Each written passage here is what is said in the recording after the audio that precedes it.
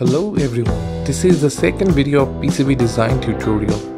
Today we will start learning about NI design suite. The very first step is to draw your circuit in the software itself. Such a circuit is called schematic diagram. NI design suite has two parts, Multisim for schematic design and simulation and Ultiboard for PCB layout design and Gerber export. So for this video we will open Multisim. Once opened, sometimes you may find a new design file is opened by default, but that is not always true. So let us first close this file and start from the scratch. On the main page, in the highlighted area, there is option to initiate a new design or open recently saved design. Currently, there is none because this is a new installation. A new design can also be initiated from file menu or there is new design shortcut as well or keyboard shortcut control plus n. Initiating new design wizard can give you again option depending on version in use. In version 13.0 along with option to open new or recent design we have installed template which is basically set of pre-installed PCB layouts in which you can fit your circuit and then my template which is similar to install template only difference is you have to design and save such templates for later usage. For now, we will create a new design. A design is like a sheet on which we can draw a circuit.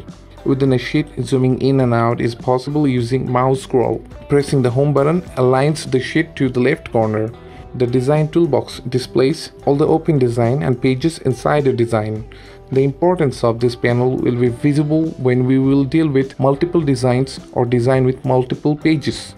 Coming back to most important feature, where from we can get components. For that, option 1, go to place tab, select component. Option 2, keyboard shortcut Control plus W. Option 3, right click on main sheet to get to component database. The component database opens like a pop-up window. There are three databases available, master, corporate and user. Master database contains all the components imported to your system during installation. Corporate and user database are to be made by you or your company, so they are empty for now. Let's go back to master database.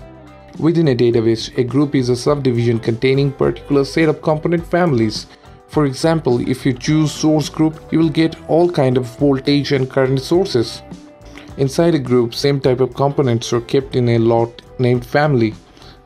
Within a family, you get the components. As further example, we will choose signal voltage source family. We get all kind of AC, DC, pulsed or step voltage sources which can be used as test input signal.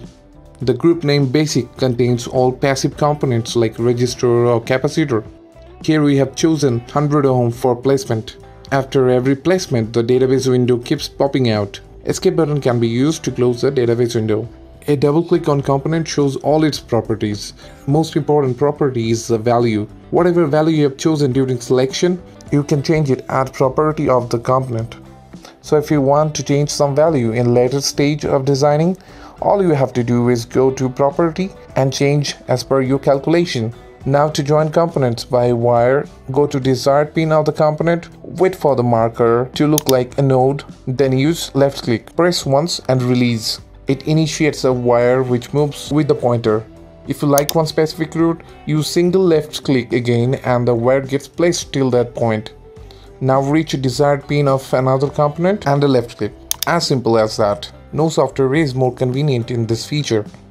When the design gets bigger, you may not like the default sheet size. Using Options tab, we can change that from Options to Sheet Property to Workspace. Here you can choose any sheet size as per your requirement.